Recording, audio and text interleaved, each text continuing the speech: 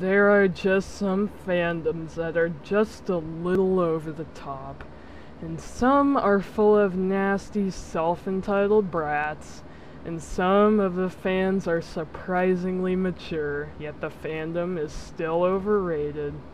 And now, we're going to talk about those specific fandoms.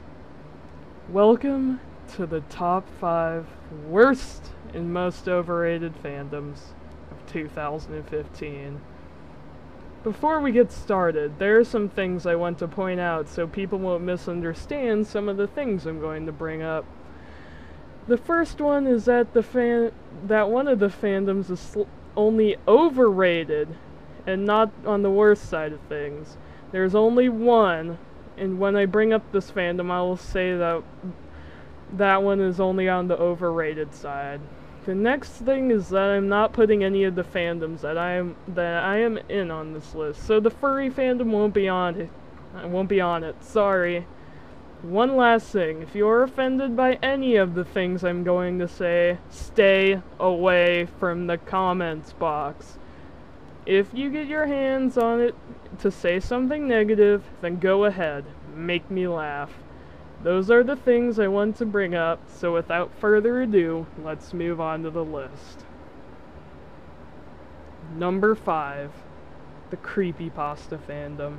This one isn't as bad as some of the others, but it isn't only overrated for two reasons. The people in this fandom say stuff like, Jeff the Killer is my boyfriend, and OMG Ben, marry me, and much more. The second reason is that creep quote-unquote creepy pasta fans won't read actual creepypastas. They only focus on the characters.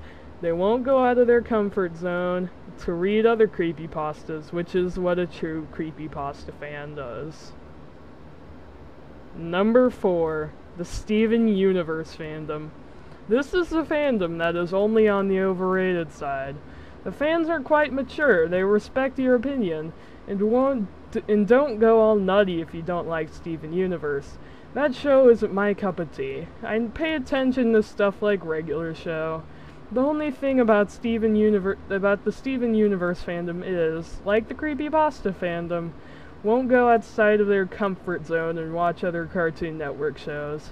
It's a little bit irritating, but the fans will be able to respect my opinion, so they won't don't bother me. Number 3, the Five Nights at Freddy's fandom. You guys were probably expecting this one, but why did I put it as number 3? You'll see. The next two fandoms are much, much worse than this one. So on to why I don't like this fandom. I was in it once. I know a few people who are nice and are in the fandom, but if you don't but if you say you don't like Five Nights at Freddy's, you will attract a few rabid fans. One other random, one other fandom coming up does this, but they take it a little too far. You will see for yourself. Now here comes the next one that make me go nuts. Number two, the Sonic fandom. Another expectation, I guess. I put this on number two for not one reason. I absolutely despise the next one. But you guys should already know this fandom pretty well. It's been around for a long time, and some of the fan art can be horrendous or really fucked up. There are rabid fans in this one, but you they are like your best friend compared to the next fandom. Now, on to number one. Number one. Alright, now the number one fandom that drives me absolutely insane is... Drumroll please the Warriors fandom. I know you're gonna click the comments box. Try me. No, seriously. You are. I can tell. I have a long story with this one, but before I get into the story, let me summarize how horrible this fandom can be. They are arrogant, self-entitled brats that, if you don't like warriors or are simply a dog person, they spam your profile, rage, and in extreme cases, death threaten you, they are mostly 9 to 11 years old. That is around the age where you should be mature and not do those things. Story time.